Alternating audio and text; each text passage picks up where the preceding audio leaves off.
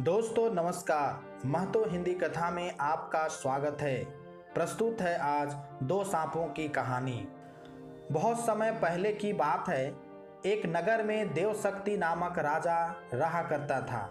उसके पुत्र के पेट में एक सांप ने अपना डेरा जमा लिया था। पेट में सांप के होने से राजकुमार दिन प्रतिदिन कमज़ोर होता जा रहा था। यह देख राजा ने कई प्रसिद्ध वैद्य से उसका उपचार कराया, लेकिन राजकुमार के स्वास्थ्य में किसी तरह का सुधार नज़र नहीं आ रहा था। राजकुमार के स्वास्थ्य के कारण राजा हमेशा परेशान रहता।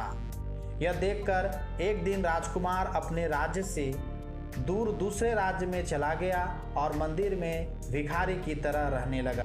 राजकुमार जिस राज्य में गया था, वहाँ बलि नामक राजा राज करता था। उसकी दो जवान बेटियाँ थी। दोनों रोज सुबह अपने पिता का आशीर्वाद लेने जाती थी। एक सुबह दोनों में एक बेटी ने राजा को प्रणाम करते हुए कहा, महाराज की जय हो। आपकी कृपा से ही संसार में सब सुखी है। वहीं दूसरी बेटी ने कहा, महाराजा, ईश्वर आपको आपके कर्म का फल दे। यह सुनकर राजा क्रोधित हो जाता है और मंत्रियों को आदेश देता है कठोर शब्द बोलने वाली इस लड़की की शादी किसी गरीब लड़के के साथ कर दो, ताकि ये अपने कर्मों का फल स्वयं चख ले। राजा के आदेश के चलते मंत्री मंदिर के पास बैठे भिखारी से उसकी शादी कर देते हैं। वह भिखारी वही राजकुमार था, जिसके पेट में सांप ने डेरा बना रखा था। राजकुमारी उसे ही अपना पति मानकर सेवा करने लगती है।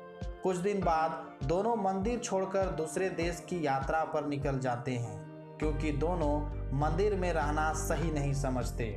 सफ़र के दौरान रास्ते में राजकुमार थक जाता है और एक पेड़ के नीचे विश्राम करने लगता है। राजकुमारी पास के गाँव से भोजन लाने के लिए चली जाती है।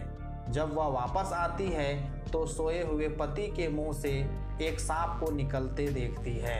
साथ ही पास के एक बिल से भी सांप निकलता है।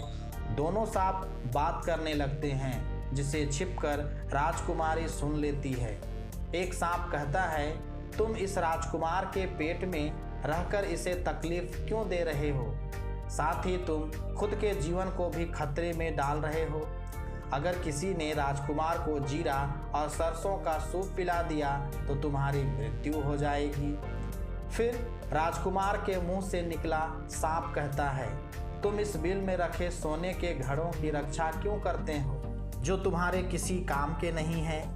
अगर किसी को इन घड़ों के बारे में पता चल गया तो वो बिल में गर्म पानी या गर्म तेल डालकर तुम्हारी जान ले लेगा। थोड़ी देर बाद दोनों सांप अपनी अपनी जगह वापस चले जाते हैं, लेकिन राजकुमारी दोनों सांपों के रहस्य को जान चुकी थी। इसलिए राजकुमारी पहले राजकुमार को भोजन के साथ जीरा और सरसों का सूप पिला देती है। इसके कुछ समय बाद राजकुमार ठीक होने लगा। फिर उसके बाद बिल में गर्म पानी और तेल डाल देती है, जिससे दूसरे सांप की भी मृत्यु हो जाती है। इसके बाद बिल में रखे सोने से भरे घड़े को बाहर निकालकर दोनों अपने शहर लौट जाते हैं।